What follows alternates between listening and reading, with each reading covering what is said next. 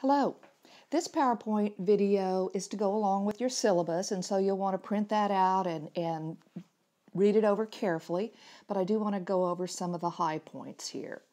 Uh, I'm your instructor for this course, Lillian Bass, and this gives my uh, office location, my email address, phone number. I really prefer you to contact me by email because I'm always checking that. Uh, my office phone has a tendency to, uh, if somebody leaves me a message, it doesn't even blink until sometimes 24 hours later, so it's, it's just not, not a real good way to get in touch with me if you need to. My office hours vary uh, with the semester. So please check the course schedule, and that will tell you my specific office hours. If the office hours are difficult for you to get there at those times, contact me by email. I'll try to do what I can to meet you when it is convenient for you. Regarding expectations, um, this is a course that is going to take a little bit of time, I'm afraid to tell you. Uh, you want to check in at least three times per week and plan to spend eight to, eight to 10 hours per week listening to the lectures, uh, filling in your notes, uh, reading the textbook, taking the quizzes, and studying. There really are no shortcuts, but efficiency is the key, and the best way to be efficient is to develop a routine. I truly found this out for myself a few years ago. I took an online course, my first online course, uh, regarding using Canvas, in fact, and I thought I would just get things done when I had time. It seemed I never just had time. And so I had to sit down and say, okay, this on this day, this day, and this day, I spend this time at this particular desk.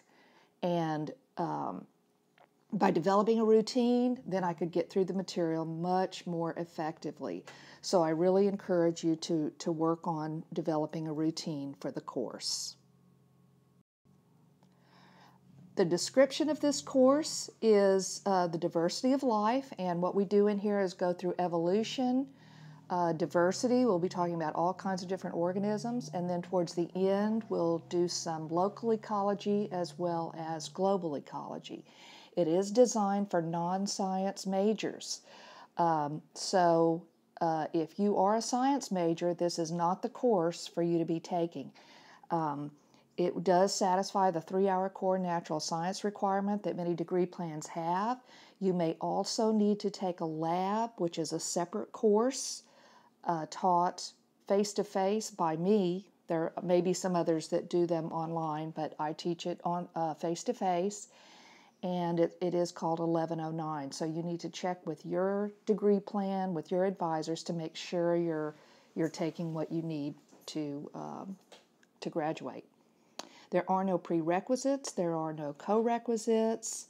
Uh, as far as the student learning outcomes, these are determined by the Texas Higher Education Coordinating Board. That basically tells us what topics we need to cover in the course. And I won't go over them now, but they are listed in detail on your on your actual syllabus. This is the textbook you'll need. It's called Biology, Concepts and Applications. I am using the ninth edition and uh, there are there is a 10th edition out, but I have not moved to that one at this time.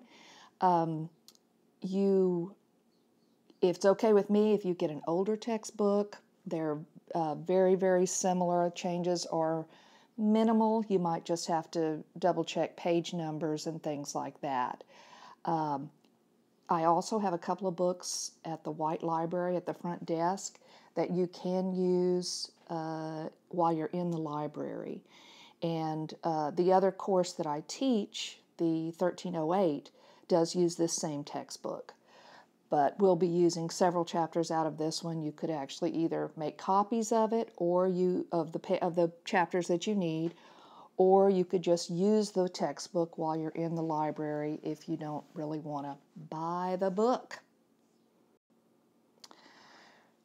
However, I will say the textbook is required.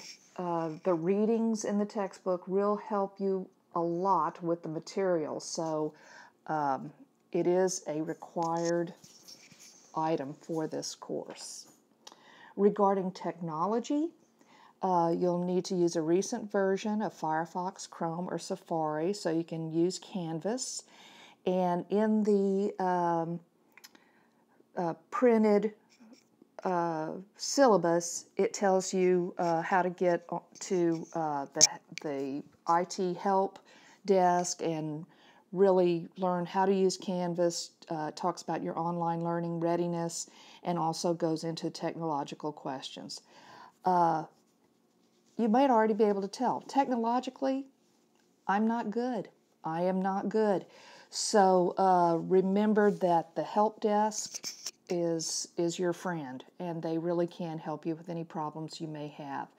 Um, technology is a wondrous thing and is very powerful. Can really help us a lot, but when it doesn't work, it can really throw things off. So you need to make sure that you have access to the internet, that you can, uh, you know, take your exams before they're due, all of that good stuff. So you have to have a plan and maybe even a backup plan. Uh, also, I want to mention the Office of Special Services that we do have here on campus. If there is a situation uh, where you may need uh, some special services, please contact me and also contact that office. And uh, again, the main thing here is we just want to make it fair for everyone. Okay, how will you be evaluated for this class? The grades will be determined by the following formula. 50% will be from lecture exams. There will be five lecture exams given, and the lowest grade will be dropped in that calculation. 15% of your grade will be from online quizzes and discussions and the lowest grade there will also be dropped. Um, 15% will be from a project called the Painted Lady Butterfly Project, and I'll tell you more about that later. And then 20% is from a comprehensive final exam. Uh, so, again, this is how your semester grade will be determined, and all grades will be posted on Canvas. The quizzes and discussions you can take from any computer, and you don't need anything special to do that. Uh, the lecture exams and final exam do require the Respondus Lockdown browser, and there's a place on the um, Del Mar Help Desk page that shows you how to download that. So, uh, again, make sure you have that taken care of early before, you know, if you have any problems with it, you know, again, there are no makeups, deadlines won't be extended. So, again, it's just your responsibility to make sure you've got everything ready so that you can take those exams from the computer that you have access to. Uh, the exams will primarily be multiple choice or true and false, matching, those kind of things. And you will have approximately one minute for each question.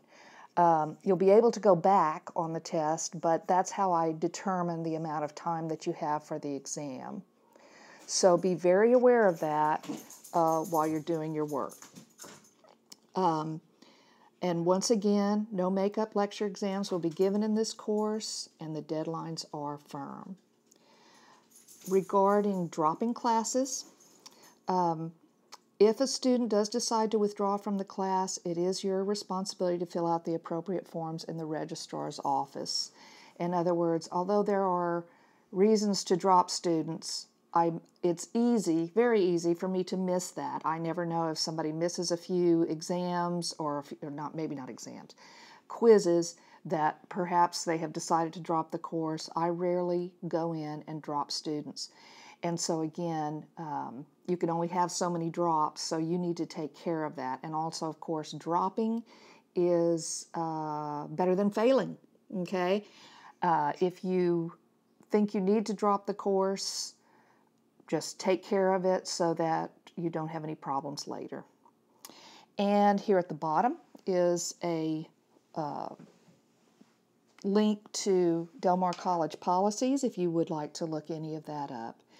But anyway, I wish you wish you well. And the main thing is, is if you do have any questions about any of this, please contact me. Email me, and I'll do everything I can to help answer your questions.